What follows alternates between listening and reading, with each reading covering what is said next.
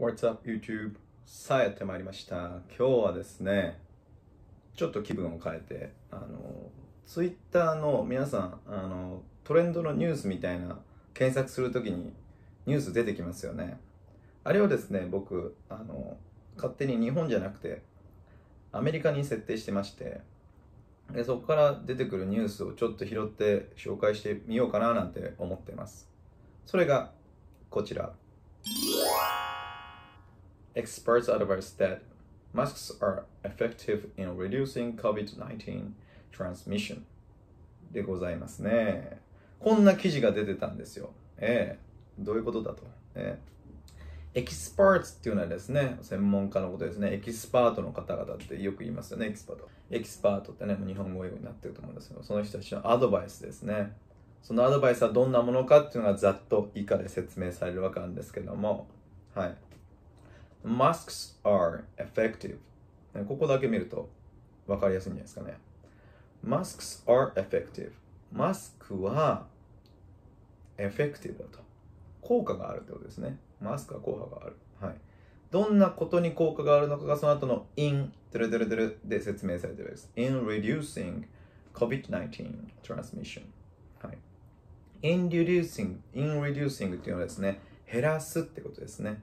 Reduce で減らすっていう意味で in reduce 減らすことというふうにね、そんな感じなんですけども、何を減らすのかがその後ですね、COVID-19 っていうのはコロナウイルスの正式名称ですね。はい。コロナバイラスの正式名称。はい。のトランスミッション、感染ってことですね。はい。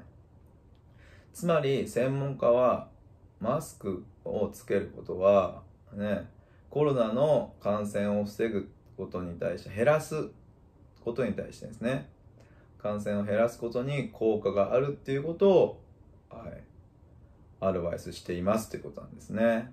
助言しているということをトップのニュースで出てきておりまして、はい。はい、その下にですね、Health experts, local authorities in multiple countries, and the World Health Organization have recommended the use of use of face masks in order to reduce the risk of transmission of the new, uh, new coronavirus みたいなカバーってなってますけど、まあ今言ったのと一緒ですね。はい。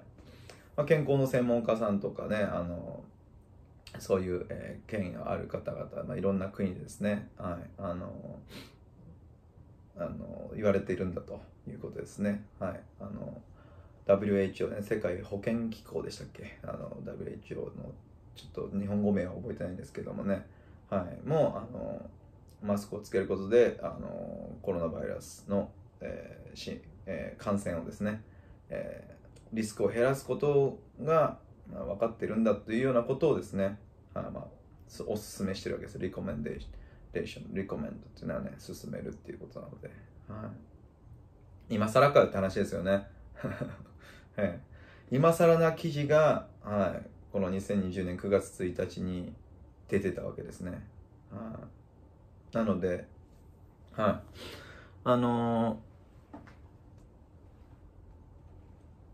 まあこういうふうに単純なニュースとかもあの取り上げて皆さんとね、はい、楽しく英語を学んでいけたらいいかななんて思うんですけれどもね最後まで読み切っちゃいましょうかねね Special, Specialists also say that homemade and cloth masks are effective in reducing the risk of infection when worn correctly なんて出てるんですけどもね、はい、スペシャリストね英語っていうのはこのあの experts が出てきてそのまままた後に experts が使ったりしない同じ意味の、ね、 specialist、specialist も experts も一緒ですよね。まあ他にも言ってるとまた言っていると何言ってるんだと homemade mask ですね。